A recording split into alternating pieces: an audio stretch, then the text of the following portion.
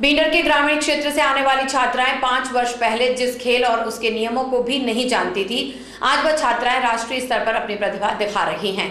यह छात्राएँ हैं भिंडर के द्रोणाचार्य कॉलेज की और सुखाड़िया विश्वविद्यालय की टीम से प्रतिनिधित्व करते हुए दो से पाँच मार्च तक केरल में हुई राष्ट्रीय स्तर विश्वविद्यालय सॉफ्टबॉल प्रतियोगिता में भाग लेकर लौटी हैं। इसके अलावा खो खो में भी एक छात्रा सुखाड़िया विश्वविद्यालय टीम से प्रतिनिधित्व कर चुकी है।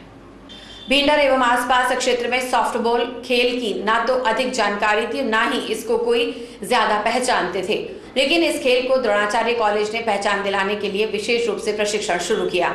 इसका ही नतीजा रहा कि दो से पाँच मार्च तक केरल में हुई राष्ट्रीय स्तर की विश्वविद्यालय सॉफ्टबॉल प्रतियोगिता में द्रोणाचार्य कॉलेज की छह छात्राओं ने भाग लिया।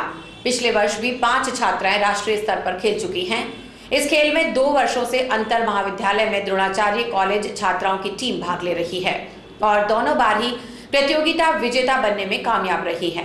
द्रोणाचार्य महाविद्यालय के चक्रवीर सिंह शक्तावत ने बताया कि सुखाड़िया विश्वविद्यालय खेल विभाग से विश्वविद्यालय की टीम में द्रोणाचार्य महाविद्यालय की रेणु कुमारी जाट, नीरू कुंवर राणावत, मधु साहू, भावना शक्तावत, इंदिरा कुमारी अहिर, सविता कुमारी जाट का चयन हुआ था। यह बालिकाएँ सुखाड़िया विश्वविद्यालय की टीम से प्रतिनिधित्व करते हुए दो से पाँच मार्च तक केरल के मलप्पुरम में आयोजित हुई all India inter university softball महिला वर्ग की प्रतियोगिता में भाग लेकर लौटी।